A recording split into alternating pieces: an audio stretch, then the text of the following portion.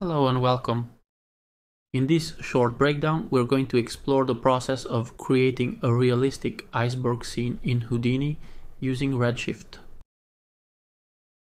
The first step would be to add in a height field node to have something to build on. Then comes a height field noise to displace the initial height field. I add a height field distort to add some detail and distort it. Next I use a height field erode to simulate erosion, creating cracks and a more natural look.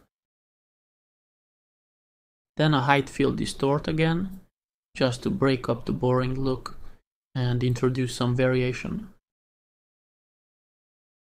Next I convert this to polygons and use a clip node to delete the lower part which is too flat and finally I use a polyfill to fill the area beneath so I can convert this into a VDB. For the lower part I have a cube. I add a simple mountain node to displace it. And then I convert this to VDB so I can use a VDB combine and combine it with the upper part.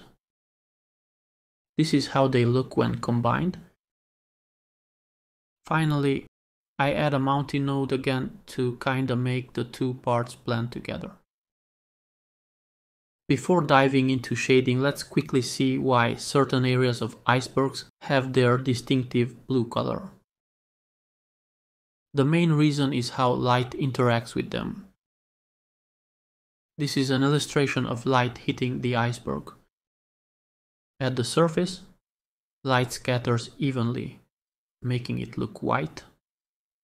As light travels deeper, the ice absorbs more red and yellow wavelengths, leaving only blue light to scatter back out. This is why the deeper parts of an iceberg appear blue. Let's try to recreate this for our iceberg.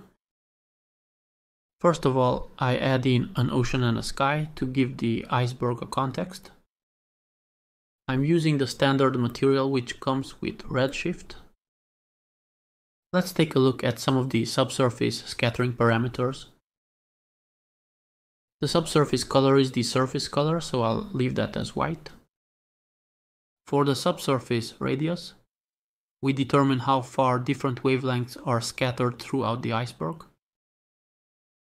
I can enter manual values for the RGB or just choose a nice blue color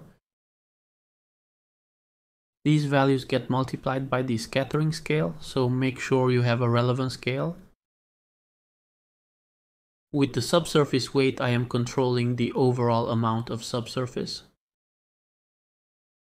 This is the result for a weight of 0.25.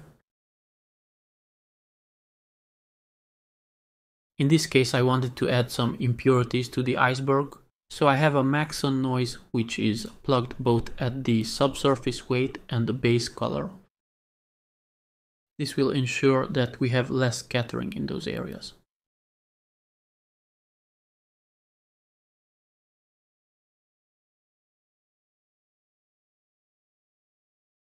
I hope you enjoyed the video.